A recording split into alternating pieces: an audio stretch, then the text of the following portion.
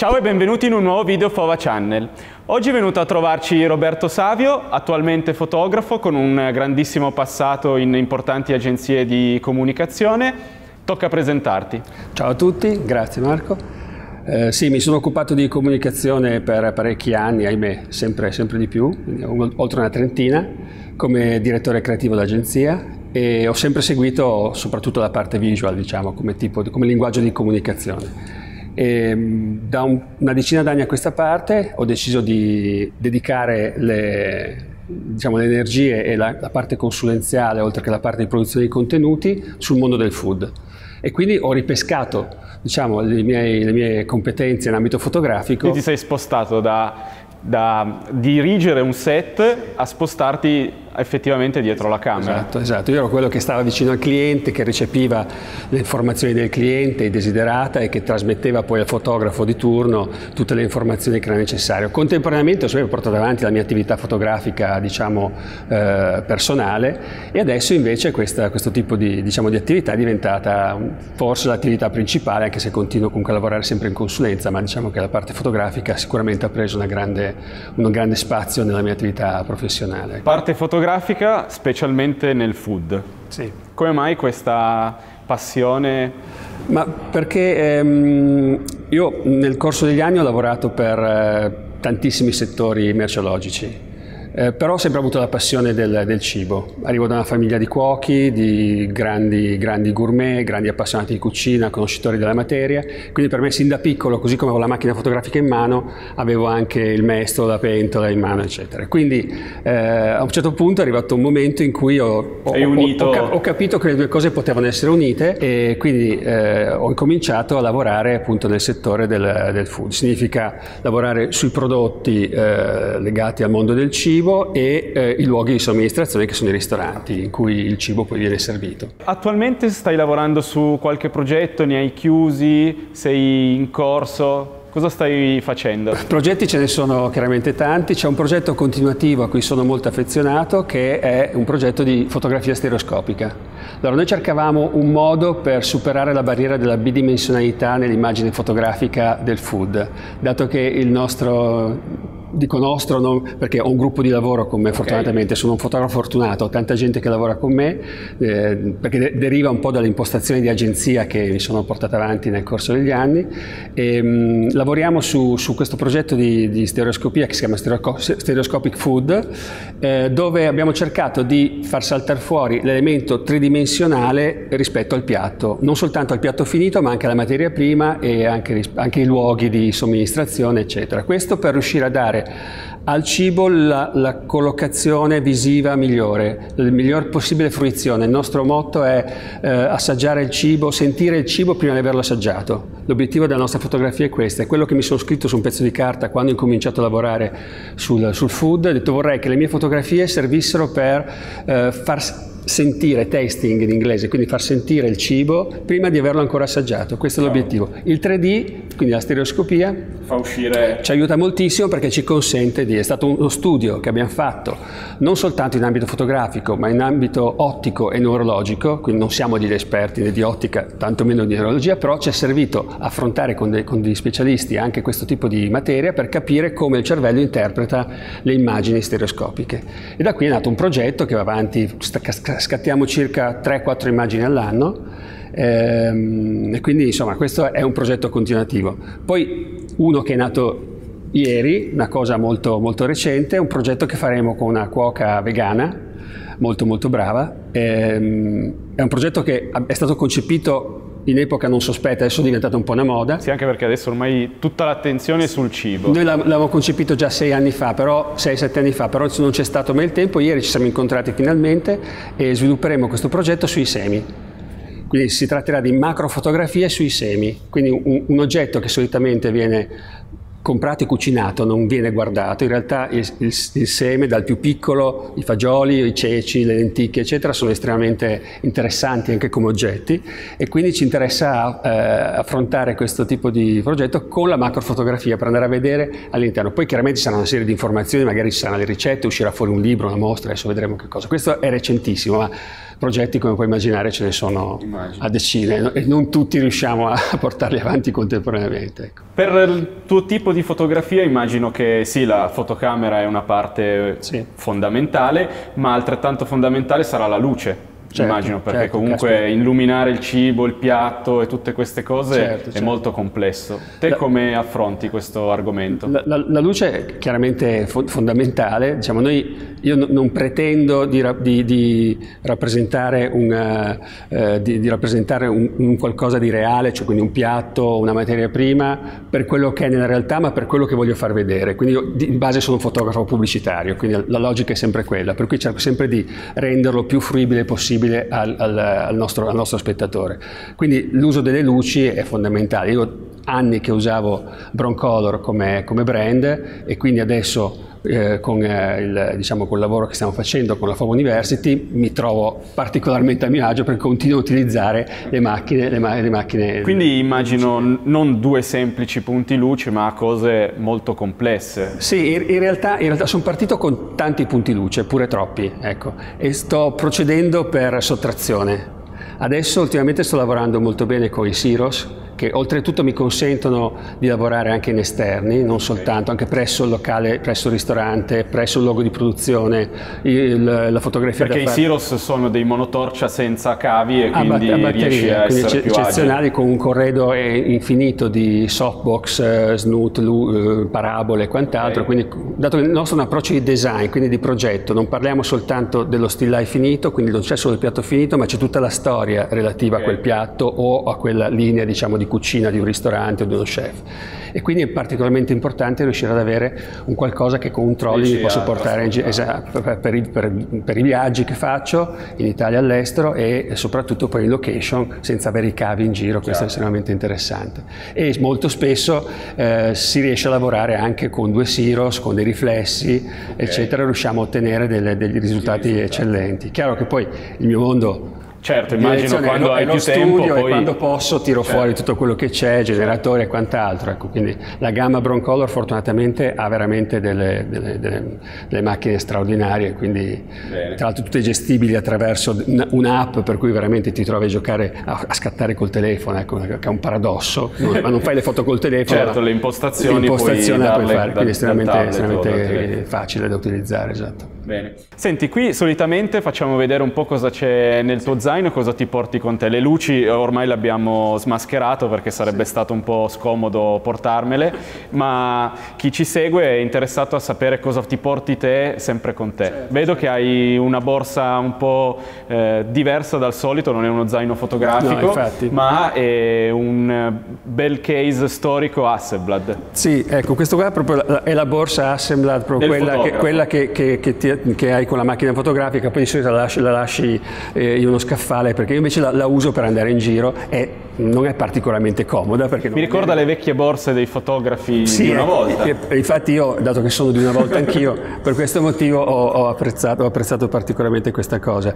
Ehm, è una borsa abbastanza protetta, è chiaro che eh, va in giro con la, col marchio Assembla, non è, cioè, eh, diciamo, questa è una borsa che di solito le foto che faccio io sono prevalentemente in studio e quindi o presso certo. una location non sono in giro, che non ho pericolo che qualcuno me la porti via.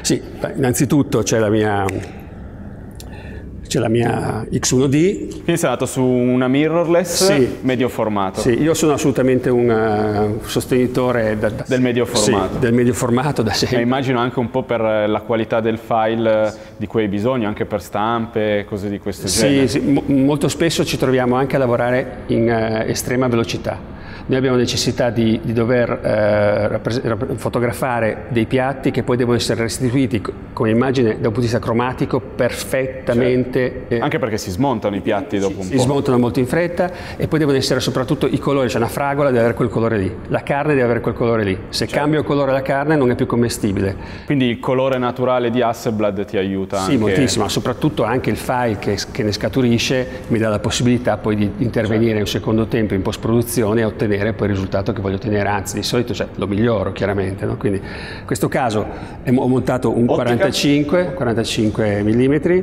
che a me piacciono gli esperimenti, pro- ho, provato, ho usato il 120 macro che dovrebbe essere l'ottica. Sì, solitamente mi immagino quel tipo di fotografia con un obiettivo macro. Sì, dovrebbe essere l'ottica che si utilizza in questi casi okay. e l'ho usata per anni.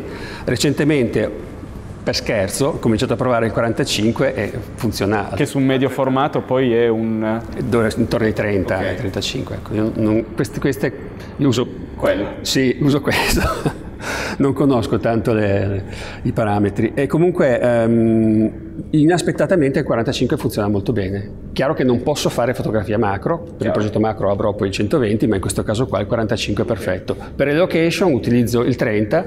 Ok, quindi usci- sei più grandangolare. Sì, uscirà, uscirà, arriverà al 21, quindi sarò ancora più contento di utilizzarlo. Oltre la camera immagino che sì, tu avrai... Sì, quindi non, non, in realtà non mi porto mai dietro tanta roba perché poi ho tante scatoline e scatolette. Poi immagino che dipenda tanto da cosa vai a fotografare. Prima, prima, ancora, del, prima ancora, della camera eh, ci sono i pennarelli. Questa è una cosa che sono, è sempre come... Quindi ne ho, Disegni il piatto. Esatto, disegniamo il piatto prima, quindi studiamo il design del piatto prima di fotografarlo e quindi facciamo una, una, sorta, abbiamo questi pennarelli che sono specifici con decine di colori, varietà colori molto molto eh, vasta, ecco, e quindi eh, ci dà la possibilità di studiare assieme allo, a monte del, del, dell'incontro con lo chef, ma soprattutto con lo chef, quelle che possono essere le disposizioni sul piatto del singolo, del, dei singoli ingredienti, quindi è molto importante riuscire colore per colore andare a posizionare il punto, il punto giusto, spesso facciamo delle fotografie con delle sovrapposizioni su vetri, mm-hmm. soprattutto quando lavoreremo sulla materia prima, eccetera, e quindi è importante sapere che lì ci sarà un arancione, ci sarà un rosso, ci sarà un verde e così via, e di conseguenza preparare... Quindi ti aiuti prima? Sì, il, il bozzetto prima che per me è fondamentale, non riusciamo... Noi, noi lavoriamo, lavoro sempre per progetto, non riesco mai a fare la fotografia così distinto, di botto, okay. distinto, anche perché lo still life non funziona così, certo. non è possibile farla. Poi magari ti va bene, ecco, ma è difficile. Poi non so, ecco, una slitta che ci serve per micrometrica. per micrometrica, che si utilizza anche in macrofotografia per avvicinarsi e allontanarsi certo. dal soggetto senza cambiare il fuoco direttamente sulla macchina. E poi ecco una cosa fondamentale che cioè, ormai è anni che con me e lo tengo sempre è il colorimetro. Ok questo è il color checker, questo è fondamentale perché dobbiamo poi, magari scattiamo in condizioni di luce, nonostante i nostri broncolor siano perfetti, ma spesso ci sono delle luci parassite, dei riflessi all'interno dei ristoranti, sì, luci al neon, luci verdi, tovaglie rosse, muri arancioni o bianchi, o pavimenti neri che riflettono e quindi modificano l'assetto, quindi per me è molto importante poi andare a identificare quello che è la gamma colori giusta. Poi ecco, il cavo di collegamento Questo tra... è il cavo tra la macchina sì. e il tuo computer. Sì, esatto. Quindi immagino che il cavo lungo ti serva per tenere la macchina magari sul soggetto, sul piatto, su quello che stai fotografando, ma poter stare dietro a una regia sul tuo computer a mettere a posto tutto quello non, che... Non siamo sempre in studio, spesso siamo okay. in location presso il cliente quindi le, le condizioni però logistiche non sono magari ottimali, per cui il cavo mi serve per okay. connettere. Io utilizzo Focus come, come, software. Che è il software di Hasselblad. Di Hasselblad di connessione, che è quello che finora mi ha dato le migliori performance. Che se non sbaglio su Focus adesso è possibile anche gestire direttamente dal software le luci. Broncolor. Sì, esatto, esatto, è possibile fare. Io lo, fa- è... io lo, faccio su un iPad a parte perché, okay. perché utilizzo, il sistema, utilizzo, il software direttamente sull'iPad, okay. però volendo direttamente da Focus potrei farlo, sì. Okay. Sì, sì, infatti. Altre cose che tuoi tool? Diciamo, quelli, che, quelli, che, mm, non so se a Bologna chiamano ciappini, cioè il, una, una, scatoletta con, delle, mm, con, dentro tutto quello che può servire ah, all'ultimo viti, momento, vitine. quindi viti, vitine, riduttori per, per, per gli stativi. Fondamentali. Eh, sì, sì, tutte cose che... Cose che poi ovviamente ti dimentichi su set, ma, perdi. Sì, infatti que- sempre... queste sono è considerato materiale di consumo. Vabbè, le, le abbiamo, abbiamo, ci sono le schede che io adesso mh, mm, insomma, okay. cons- conservo all'interno di questo, di questo, oggetto qua. E poi vabbè, un, piccolo, un piccolo tripod che può servire, a volte scattiamo, eh, utilizzo Broncolor in preferenza, luci flash in preferenza perché è quello che mi serve per il food, talvolta utilizziamo anche luci continue, quindi okay, LED, LED, luci LED, allora magari vicino al piatto, in prossimità di un oggetto, di una materia prima eccetera, avere, avere anche un tripod può essere, può essere interessante, poi piccolino, leggero e, e, sta all'interno della... e poi ci sono altre cose, carica batterie. Beh, immagino ci siano anche le cose che non possiamo altre, far vedere, altre, quindi sì, qualcosa, i segreti del, del, professionista. Eh. Se non sbaglio sulla Fova University, sulla piattaforma sono disponibili di alcuni tuoi laboratori, eh, sono dei laboratori di più giorni perché eh, con i tuoi alunni, i tuoi allievi, i tuoi seguaci, chiamiamoli come vuoi, eh, fate proprio in pratica tutto il lavoro che sta dietro alla fotografia di food. Certo, certo. Ehm, cerco di raccontare, di trasferire tutte le informazioni senza segreti, appunto in questo caso a maggior ragione. Hai abbattuto tutti i filtri? Sì, no, ma non è, non è cioè, sempre, il concetto è quello di sharing, non è quello di eh, tenere, quindi vorrei che tutti si mettessero in condi, fossero in condizioni, potendosi permettere poi l'attrezzatura che è necessaria, ma fossero in condizioni poi di scattare una bella foto, ma significa anche scattare una bella foto quando poi sei al bar e magari hai la tazza del caffè, la brioche, la, la tovaglia giusta, la luce che entra dalla finestra, dici come faccio a bilanciare questa luce, allora ti viene in mente che magari io ti ho raccontato di mettere un tovagliolo bianco certo. fuori campo che riflette la luce. Ecco, questo è un piccolo trucco che però magari si serve per portare a casa anche la fotografia.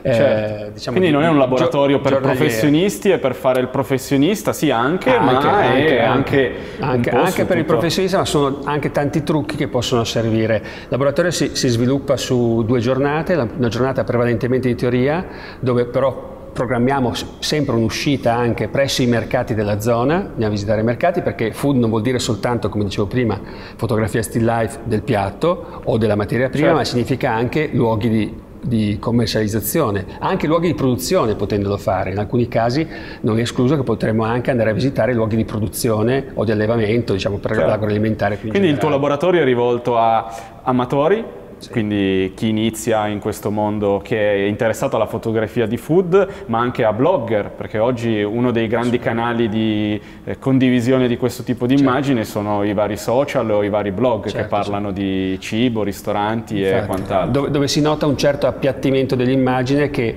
perché viene riferita di solito alla tipologia di immagini cosiddette editoriali, cioè quelle impostazioni classiche del piatto con la forchetta, cover, il tovagliolo, il bicchiere, il fiorellino, eccetera. A me questo tipo di impostazione interessa fino a un certo punto, il focus deve essere il piatto, poi dopo impari a fare lo stylist e lo fai, ma è un altro mestiere, il nostro mestiere di fotografi è quello di fotografare il soggetto, deve saltare Bene. fuori, quindi noi ci concentriamo su, su, principalmente su questa parte, dicevo una parte teorica il primo giorno, più teorica con qualche uscita pratica e una parte in studio con allestimento di due set, almeno due set differenti, uno dove utilizziamo la luce flash, quindi broncolor, tutte le luci che abbiamo a disposizione, quindi si possono provare le luci se non altro e eh, comunque ottenere il miglior risultato, e un set invece di luce continua, che è la condizione magari più amatoriale se vogliamo Chiaro. per certi casi, ma addirittura anche nel nostro caso, come dicevo prima, a volte io utilizzo anche la luce continua, quindi la luce elettrica, la luce fredda, che consente di avere anche dei buoni tempi di ripresa senza che il gelato si squagli o il prodotto, il prodotto si ossidi, eccetera. E quindi sono set molto più semplici da, da realizzare, che però è interessante capire come, come realizzare al meglio. Allora invito le persone che ci seguono a visitare la Fova University e trovare i tuoi corsi, i tuoi contatti, il tuo sito, i tuoi riferimenti social li trovate qui sotto. Roberto Savio, vi ringraziamo per eh, il tempo che ci avete dedicato, ringrazio te Roberto per averci raccontato Grazie tutto il tuo mondo di fotografia di food. Grazie a te, grazie a tutti.